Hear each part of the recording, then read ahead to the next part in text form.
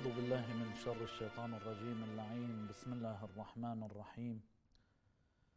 صلى الله عليك يا رسول الله. وعلى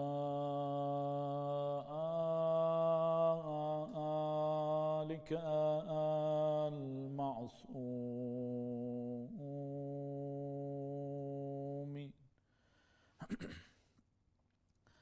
صلى الله عليك يا سيدي ويا مولاي يا أبا عبد الله. يا من دمه غسله.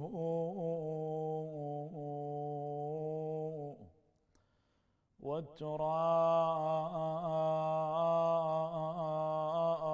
كافور. ونسج الرياح أكفانه والرماح الخطي نعشوه وبقلوب من والاه قبره يا صاحب الشيب الخضيب والجسم السليم والثغر المقروع بالقضيب. السلام على الشفاء الذابلات السلام على الرؤوس المشالات السلام على قتيل العبرات. يا ليتنا كنا معكم سادتي. فنفوز فوزا عظيما. حكم الإله بما جرى في مسلمين. والله ليس لحكمه تبديل.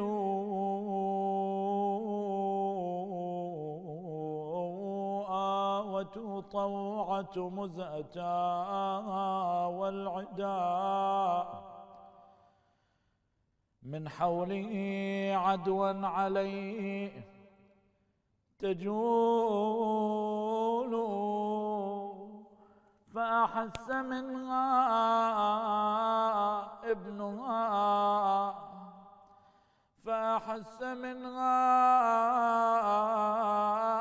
ابنها بدخولها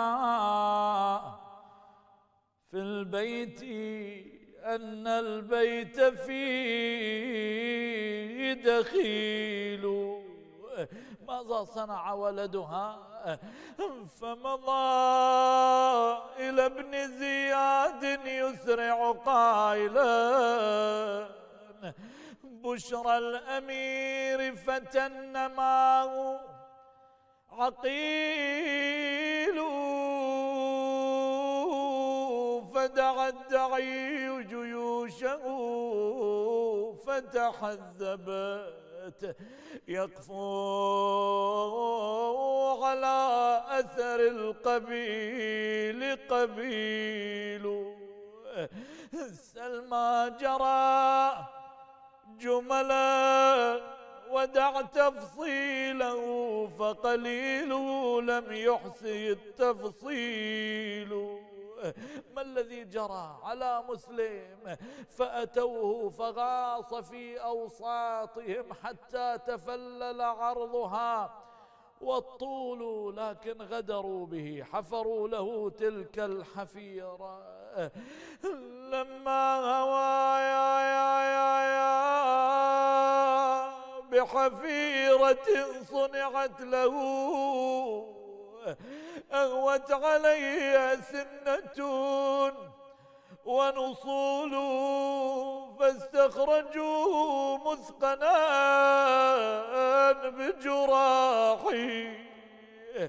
والجسم من نزف الدماء ولو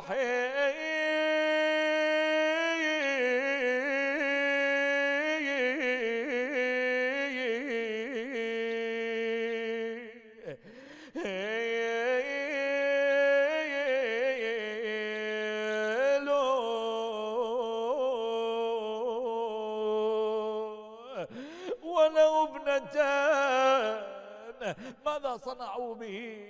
كيف صار التمثيل؟ ربطوا ربطوا برجلي الحبايا ومثلوا فيه فليت أصابني التمثيل. وله ابنة مسح الحسين برأسها واليتم مسح الرأس في دليل لما أحست يتمها صرخت لا. يا والدي حزني عليك طويل. يا بعد درب شبحة حميد عيونها. ابنة مسلم تنظر لذلك الطريق الذي يقبل من الكوفة. لعل أحدا يأتي بخبر عن والدها. يا بعد درب شبحة حميد عيونها.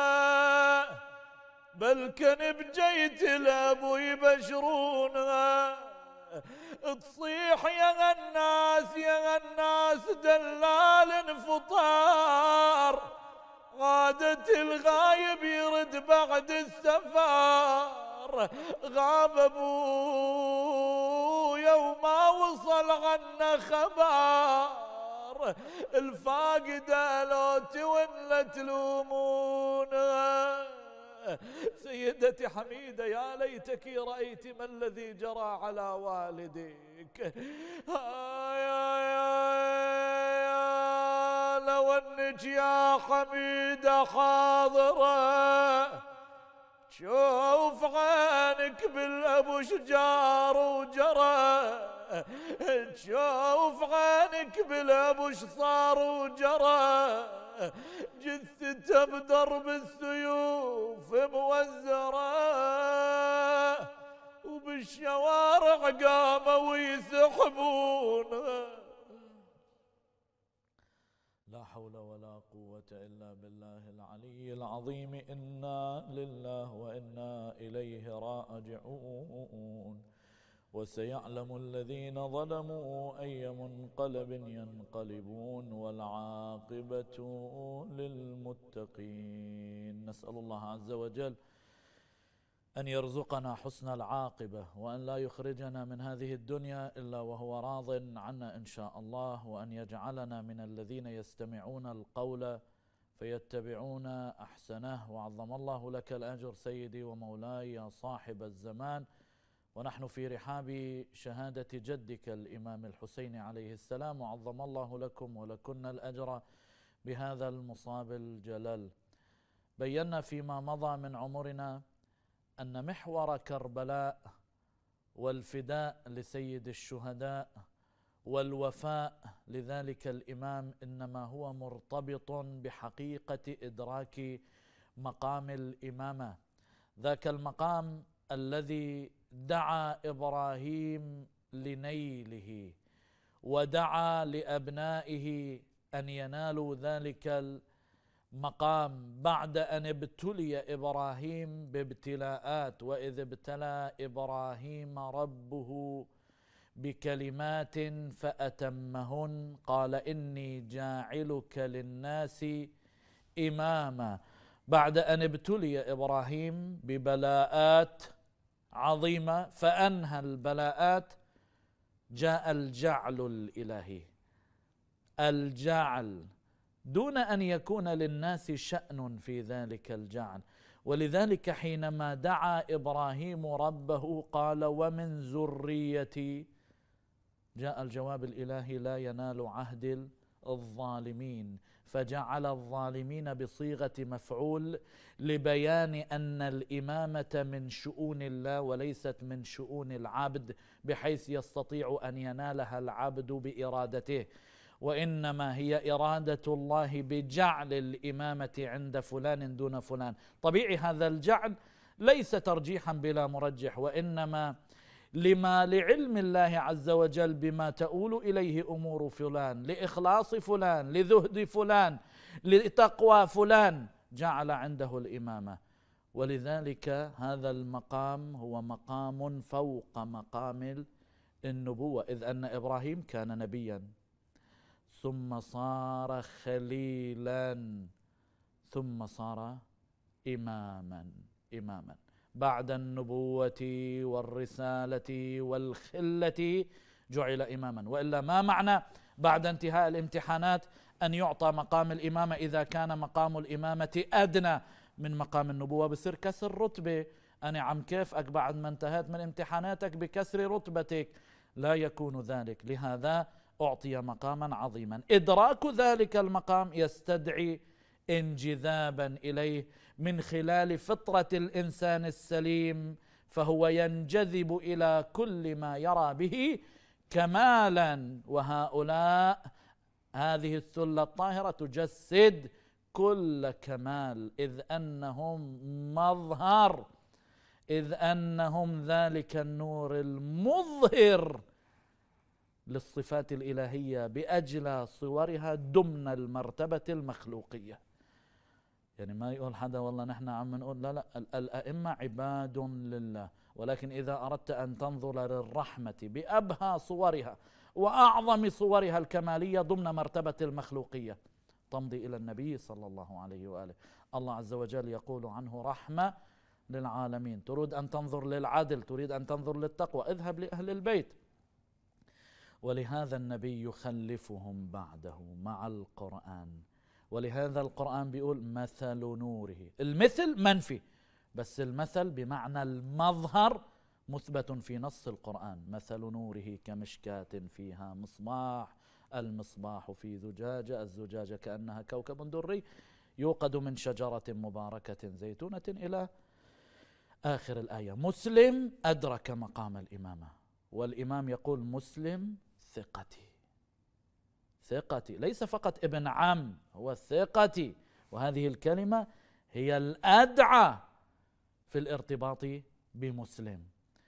ومسلم أرسل بعد أن وصلت الرسائل بأكملها والملفت بالتاريخ أن الرسالة الأخيرة التي فيها أسماء المنافقين يعني بالكوفة أرسلت الناس كلها بقي مجموعة هول اللي شافوا مشهد الكوفي كله صار مع الحسين فقالوا يلا نرسل للإمام. حينما أرسلوا حجار ابن أبجار وشبث ابن ربعي وغيره أرسلوا للإمام.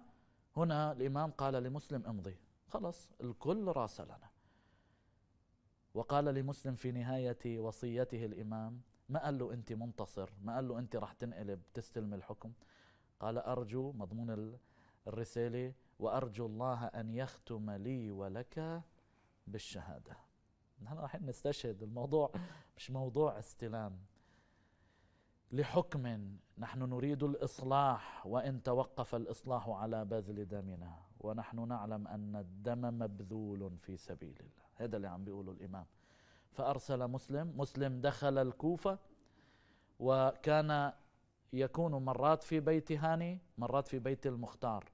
وهذه ترى نقطة مهمة لأنه الإمام بيقول له ادخل أوثق دورها أو أوثق أهلها. فيختار هاني والمختار. هذا دليل على أن المختار من أوثق الناس عند مسلم يعني عند أهل البيت.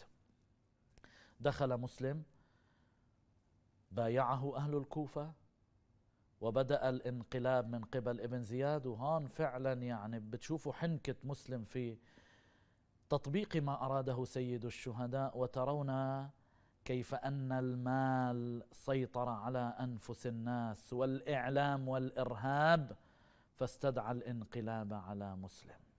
حتى أضحى في الليلة اللي هو المسلم سرع بالنهوض على ابن زياد لما قبض على هاني وإلا ما كان مسلم يريد أن ينهض في ذلك اليوم. فقد اتفق مع المختار على يوم معين وخرج المختار ليأتي بالناس من خارج الكوفة.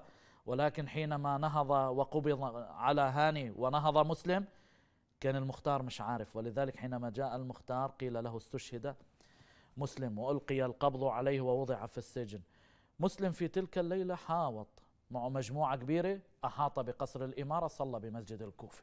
واللي رايح للعراق بيعرف مسجد الكوفة وقصر الإمارة قد شعران في تلك الليلة ابن زياد يقبض على الوجهاء بالتهديد بالترغيب بيطلعوا وجهاء رؤوس القبائل بيخطبوا بقبائلهم ويخذلوا قبائلهم بهبطوا عزائمهم. يترك مسلم.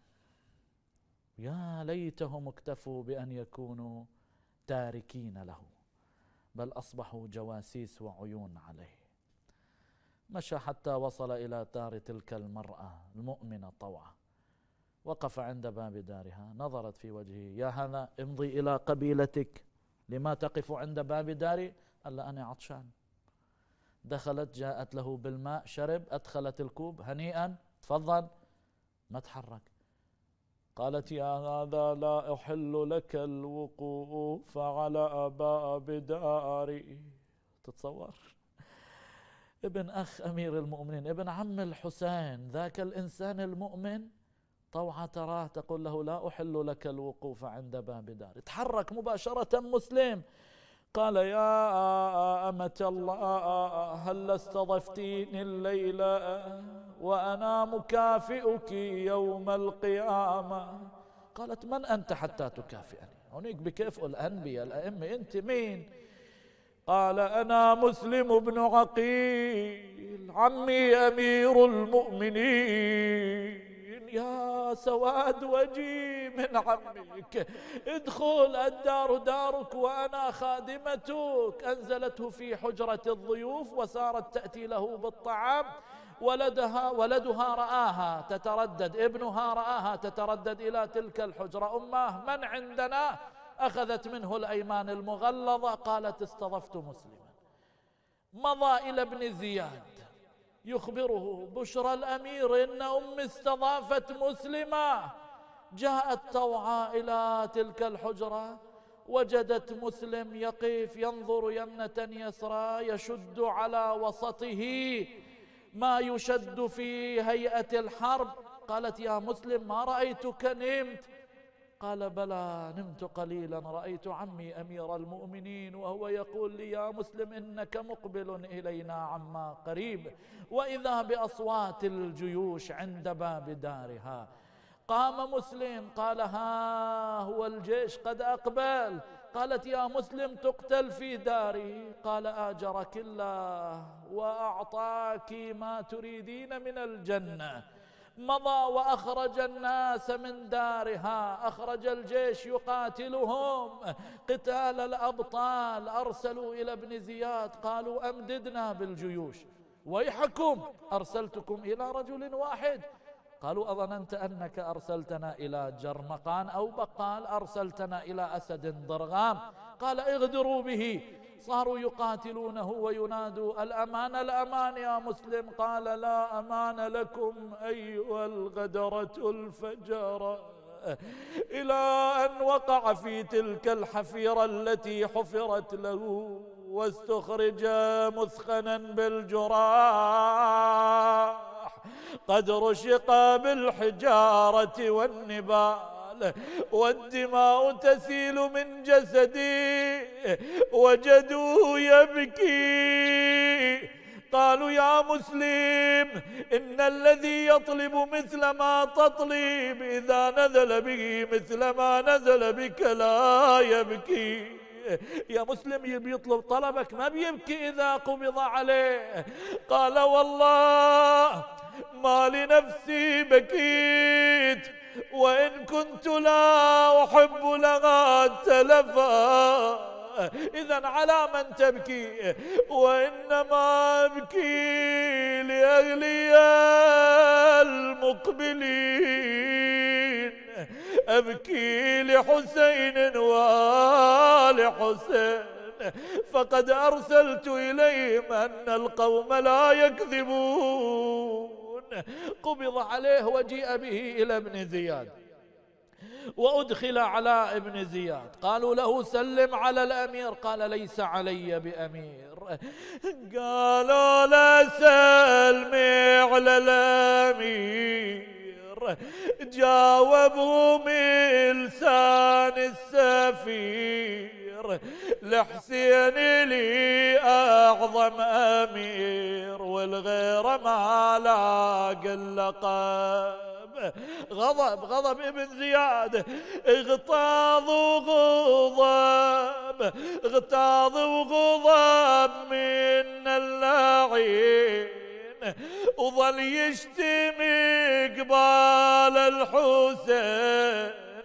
واصدر أمر واضح مبين من سعر إحقاد الغضب.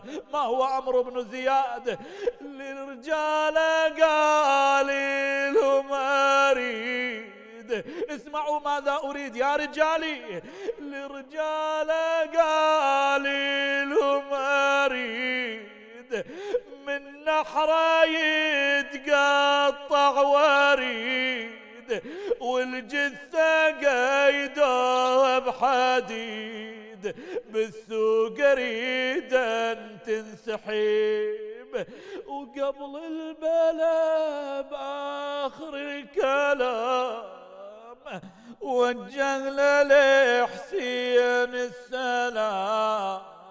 ونادى لا تقدم يا الإمام. كلها أني الغدر وكذب لا تقبل يا أبا عبد الله. ضرب رأس مسلم وألقي من على القاصر. ووصل الخبر إلى الحسين. استرجع كثيرا. ونادى إلي بحميده وهو يقول إنا لله وإنا إليه راجعون. صار يمسح على رأسها قالت عم يا حسين أراك تصنع معي كما تصنع مع الأيتام؟ هل قتل والدي؟ قال بني لقد استشهد والدك.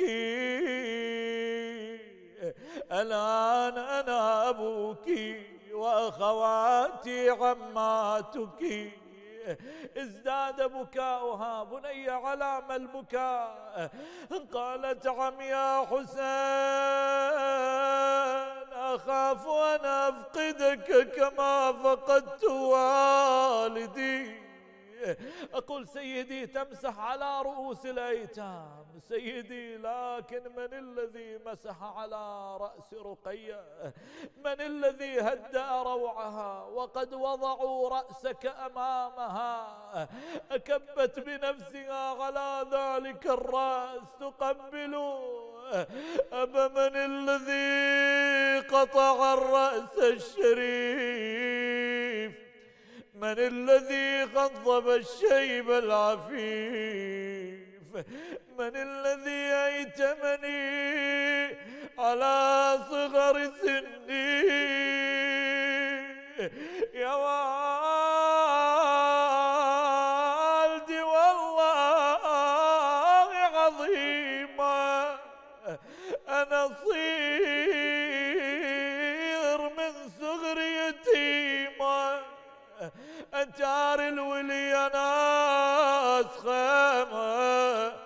يفيع على بناته وحريمه بالأمس كانوا معي واليوم قد رحلوا. إلهنا نقسم عليك بأعز الخلق لديك يا الله بالزهراء وأبيها وبعلها وبنيها والسر المستودع فيها. عجل فرج وليك الإمام المهدي انصر المجاهدين في سبيلك. ادفع البلاء عنا ثبتنا على ولاية محمد وآل محمد ببركة الصلاة على محمد وآل محمد.